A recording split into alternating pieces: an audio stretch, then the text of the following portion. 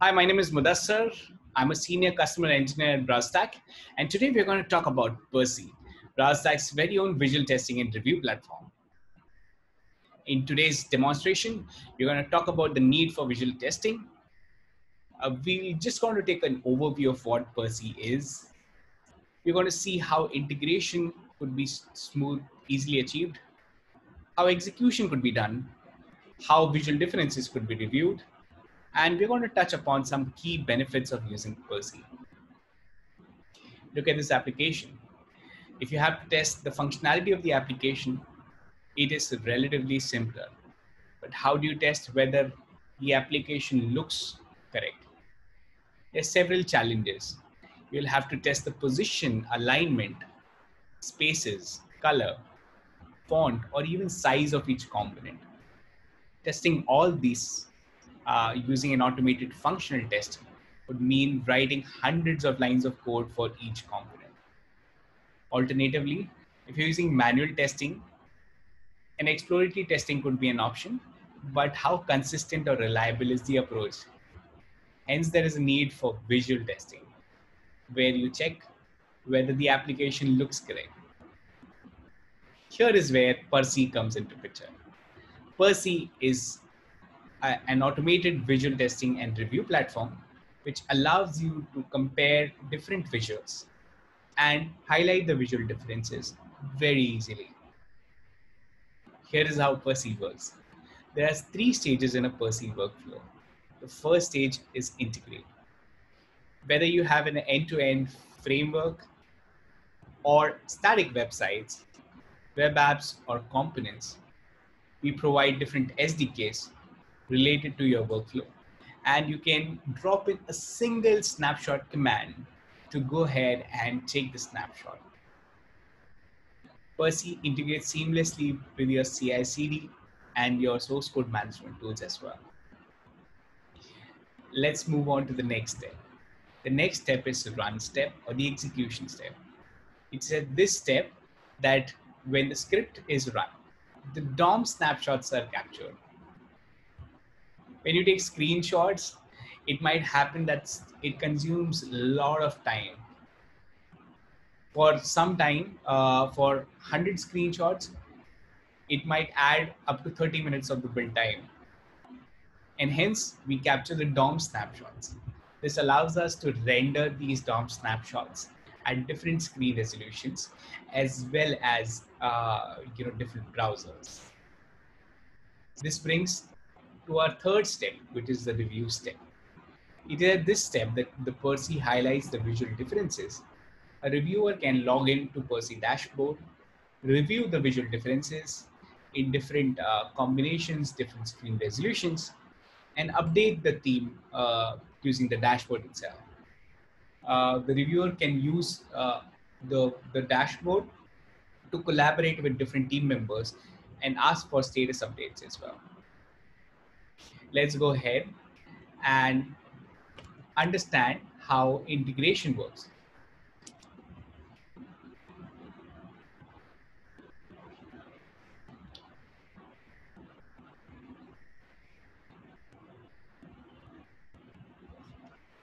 this is a Percy dashboard.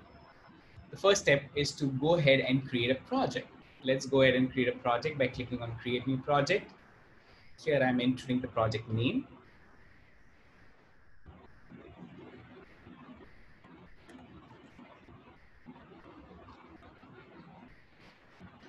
I can link it to my source code management uh, repo as well. Currently, I'm linking it with my GitHub repository and the project is created. The next step is installing the relevant SDK and uh, adding that to your uh, framework. So currently I'm using the end-to-end framework as Puppeteer.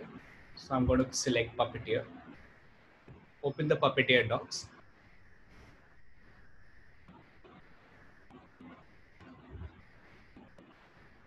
copy the installation command and execute it in my framework.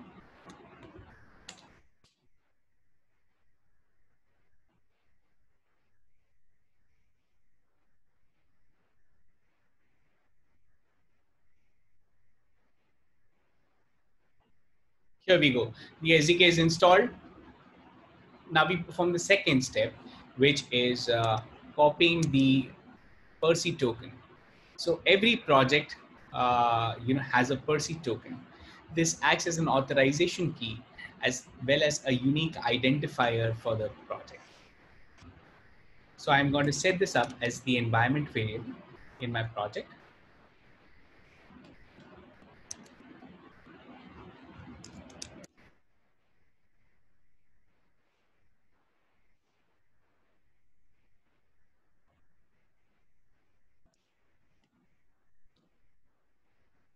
And now I'm committing the changes that I've done.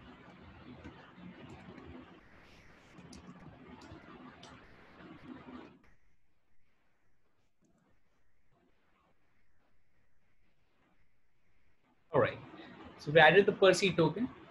The next step is use the SDK and then add the snapshot commands.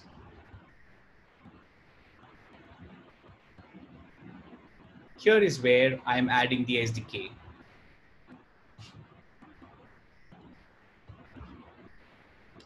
Wherever I want to take the snapshot command, I will mention the Percy snapshot command. I can give the name to the snapshot and also I can specify different widths at which I want the snapshots to be rendered. Percy gives a very powerful way uh, to perform operations on the CSS uh, that is captured as a part of the snapshot. Uh, so you can specify uh, the CSS in the Percy CSS parameter for example, if you want to hide a specific CSS, you can specify Percy CSS, specify the CSS component, and mention the visibility as hidden. So while taking the Percy snapshot, uh, Percy will hide this part of the CSS. This, this comes in really handy when you want to ignore certain part of the CSS uh, for comparison. Here we go. We've added the snapshot commands and we're ready.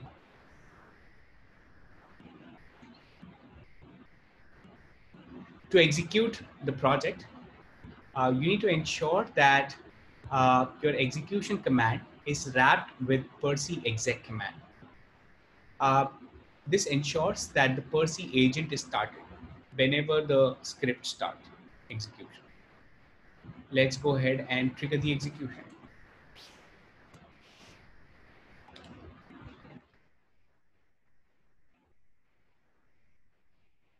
Here you observe that the first build is captured. This build is the base build and different uh, snapshots at different screens are captured here.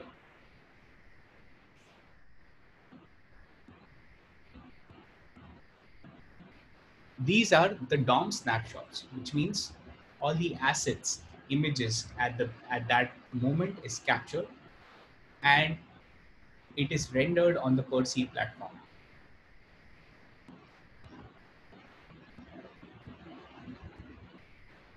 Now we can go to the dashboard.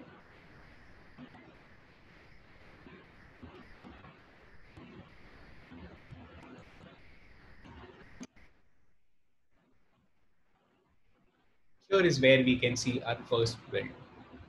It also associates with the GitHub repo uh, that we integrated at the beginning of the project.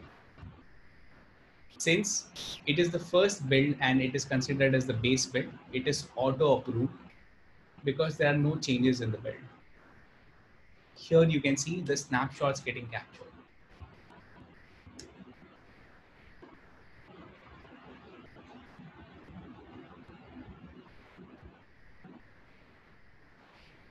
Let's execute this with a CI CD. In my example, I'm using a Jenkins CI CD pipeline. So I'm going to create a new project in Jenkins.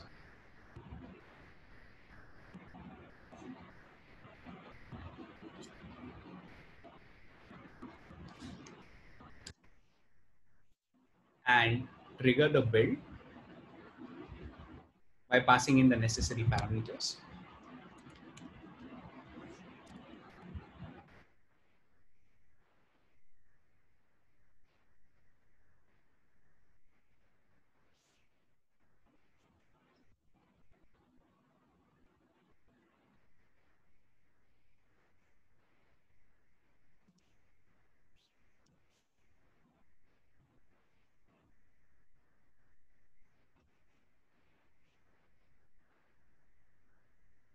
And now I'm triggering the build.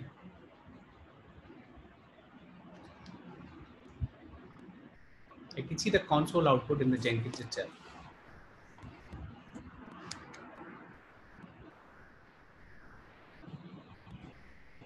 Here, if you observe, the uh, snapshots uh, are being taken.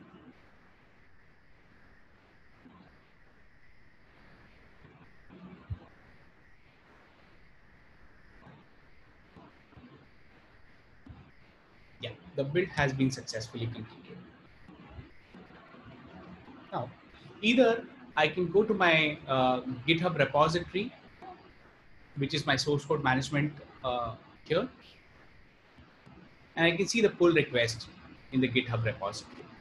So if I go to pull request, I can see the latest pull request that was generated.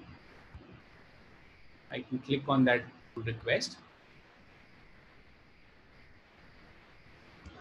And here I can see that my functional tests have passed successfully. And there's a notification about the visual test. This way I can isolate uh, the functional and the visual test uh, in my pull request and keep them independent of each other. We'll give Percy a moment to go ahead and uh, render those snapshots as well as perform the visual diffs on it.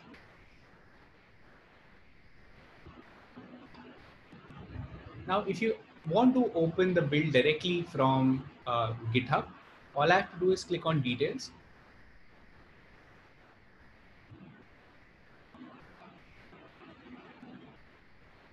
And the reviewer can open the build.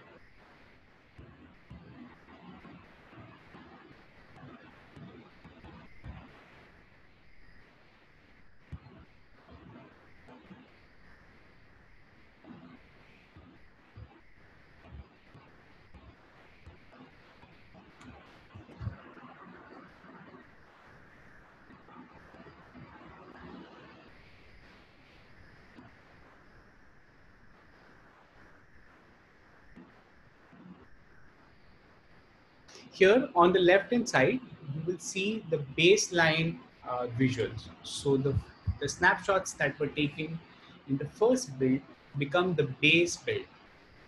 And the pull request or the latest session that you ran just right now become your current build or the build that you want to compare. So on the left hand side, you would be able to see the snapshots of the base build on the right hand side, you will be able to see the snapshot of the current build that was uh, run. A very prominent difference is the change in the uh, checkbox here. So on the change in the color of the checkbox, on the left hand side it's green in the base build and in the current build it is blue. The other change uh, which Percy has highlighted is with the change in terms of the menu items out here. So if I have to see the visual change, all I have to do is click on the current build and highlight the change. So if you observe the change in the menu items on the left hand side, lab results and performance is uh, available in a sequence. And on the right hand side, you will see performance on top and lab results below these kind of minute changes can be difficult uh, to be captured uh, you know when you're doing an exploratory testing manually. You can get the source uh, uh, as well as the source and the original uh, you know information as well uh, by clicking on this arrow. So here you can click on the drop down and here you can copy the snapshot URL. So this it will copy this particular URL uh, so that you could share it with, with one of your developers. You could download the original source. Download the new source, uh, which is the current build. You can download the difference as well. So difference would essentially highlight what all different changes were there uh, in both the builds. if I want to highlight the different or, or see the visual differences in different screen resolutions, I should be able to do that as well. All I have to do is click on the screen resolution here and I should be able to see the visual difference in a mobile kind of a resolution. So it, it takes the entire page DOM snapshot and hence you will be able to see uh, the visual difference here in mobile kind of a resolution.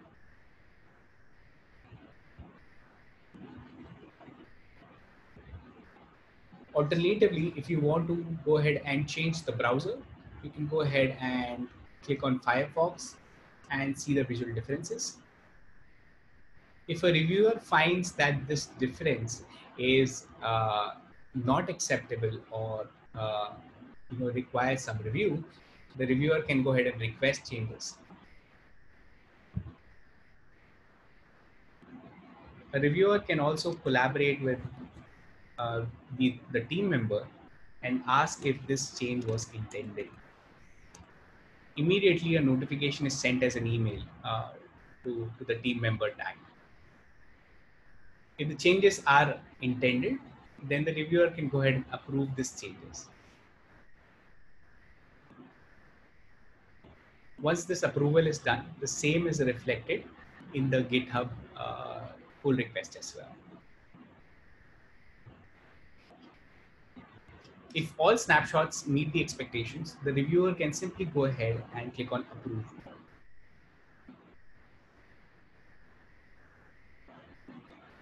This shows in the GitHub pull request that all checks have passed and there are no conflicts and this pull request can be merged easily. This is how easy it is to go ahead and perform the review process. Thus, we've successfully seen how to integrate uh, with Percy, uh, Percy with your existing workflow, uh, how to execute the test, and how a reviewer can use the, the Percy dashboard to review the results and collaborate with the team. Before, before we complete uh, the demonstration, let me go ahead and highlight some of the key benefits some of the key benefits of using Percy is that minimal amount of code is required. You've seen how successfully I just added the snapshot command. How easy it is to go ahead and integrate with any of the workflow. And if necessary, I can go ahead and create my own SDK in case a new language is introduced. I can go ahead and integrate with any source code management tool. Uh, major majority of people use GitHub. So we've got a smooth integration with GitHub it can be easily scaled to meet the needs. Uh, and capturing DOM snapshots makes it really fast. Where, wherein you, if you compare it with screenshots, it's very very slow. But DOM snapshots compared uh, capturing is makes it makes Percy very very fast. We not only allow you to go ahead and review the changes, but also collaborate with other team members and share your review. This is all I had for Percy demo today. For more information, you can visit browserstack.com slash Percy. Thank you.